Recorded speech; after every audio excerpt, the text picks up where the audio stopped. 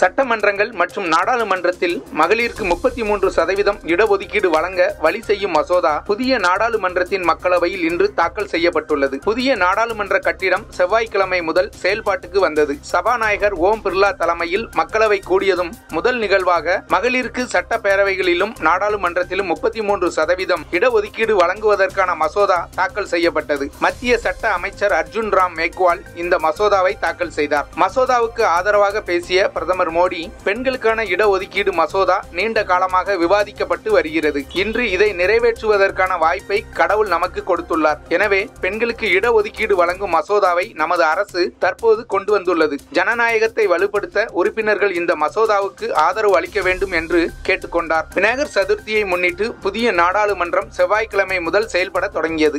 காலை பதினோரு மணிக்கு நாடாளுமன்றம் வழக்கம்போல் பழைய நாடாளுமன்ற கட்டிடத்தில் கூடியது. மைய மண்டபத்தில் நடைபெற்ற விழாவில் பழைய நாடாளுமன்றம் குறித்த மலரும் நினைவுகளை தலைவர்கள் பகிர்ந்து கொண்டனர். அனைவருக்கும் விநாயகர் சதுர்த்தி நல்வாழ்த்துக்களை கூறி பிரதமர் மோடி தனது உரையை தொடங்கினார். அப்போது அவர் புதிய எதிர்காலத்தின் தொடக்கமாக நாம் இன்று புதிய நாடாளுமன்றத்திற்கு செல்ல உள்ளோம். வளர்ச்சி அடைந்த இந்தியாவை உருவாக்குவோம். அதை அடைந்தே தீருவோம் என்ற உறுதியுடன் நாம் புதிய நாடாளுமன்றத்திற்கு செல்வோம் என்று தெரிவித்தார். கடந்த சில ஆண்டுகளுக்கு முன்பாக வடகிழக்கு பருவமழையின் போது பெய்த கனமழையின் காரணமாக ஏற்பட்ட பாதிப்புகளை கருத்தில் கொண்டு பேரிடர்களின் போது மனித உயிரிழப்புகள் ஏற்படுவதையும் பொது சொத்துக்கு சேதங்கள் ஏற்படுவதையும் தடுக்க அனைத்து துறைகளும் ஒருங்கிணைந்து செயல்பட வேண்டும் என முதல்வர் மு. ஸ்டாலின் வலியுறுத்தியுள்ளார். தமிழகத்துக்கு உரிய நீரை திறந்துவிடும்படி மத்திய அரசு கர்நாடகாவுக்கு வலியுறுத்துமாறு மத்திய அமைச்சர் கஜேந்திர சிங் செகாவத்திடம் கோரிக்கை விடுத்துள்ளோம் என்று தமிழக நீர்வளத்துறை துறை அமைச்சர் துரைமுருகன் தெரிவித்தார். காவிரி விவகாரத்தில் தமிழக எம்பிக்கள் அடங்கிய குழுவினர் செவ்வாய்க்கிழமை காலை மத்திய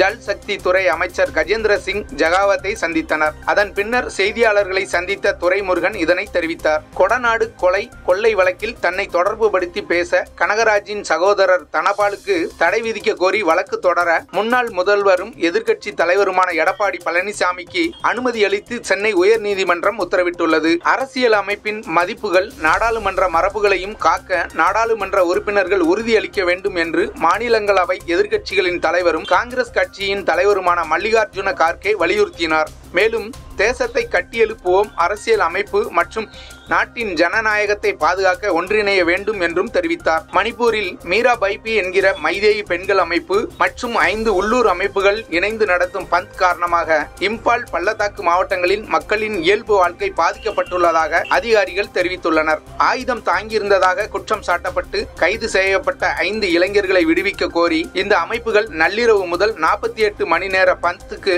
அழைப்பு விடுத்துள்ளன. காலிஸ்தான் பயங்கரவாதி கொலையான விவகாரத்தில் இந்திய தூதரக அதிகாரி ஒருவரை கனடா அரசு வெளியேறும்படி உத்தரவிட்டுள்ளது. நாடாளுமன்றத்தில் பேசிய கனடா பிரதமர் ஜஸ்டின் ட்ரூடோ இந்திய அரசாங்க முகவர்களுக்கும் காலிஸ்தான் தலைவர் ஹர்தீப் சிங் நிஜார் கொலைக்கும் தொடர்பு இருப்பதற்கான நம்பத்தகுந்த குற்றச்சாட்டுகள் உள்ளன என்று கூறினார். இதனை இந்தியா அபத்தமானது என்றும் உள்நோக்கம் கொண்டது என்றும் தெரிவித்துள்ளது. காலிஸ்தான் குழு தலைவர் கொல்லப்பட்ட விவகாரத்தில் இந்திய தூதரக அதிகாரியை கனடா வெளியேறும்படி உத்தரவிட்டுள்ள நிலையில் அதற்கு பதிலடி கொடுக்கும் வகையில் இந்தியாவுக்கான கன்னட தூதரக அதிகாரியை ஐந்து நாட்களுக்குள் நாட்டை விட்டு வெளியேறும்படி உத்தரவிடப்பட்டுள்ளது. ஆயிரத்தி தொள்ளாயிரத்தி தொண்ணூறாம் ஆண்டு வெளியான என் உயிர் தோழன் திரைப்படத்தின் மூலம் ஹீரோவாக அறிமுகமானவர் பாபு. இந்த படத்தின் மூலம் என் உயிர் தோழன் பாபு என பரவலாக அறியப்பட்டவர். படப்பிடிப்பு ஒன்றில் ஏற்பட்ட விபத்தில் அவருக்கு முதுகு பகுதியில் பலத்த அடிபட்டது. முதுகு தண்டுவட அறுவை சிகிச்சை செய்யப்பட்டு தொடர்ந்து சிகிச்சை பெற்று வந்தார். சிகிச்சை பலனளிக்காத நிலையில் சென்னையில் செவ்வாய்க்கிழமை காலமானார். அவருக்கு திரையுலகினர் இரங்கல் தெரிவித்து வருகின்றனர். இதனிடையே மிகப்பெரிய நட்சத்திரமாக வந்திருக்க வேண்டியவர்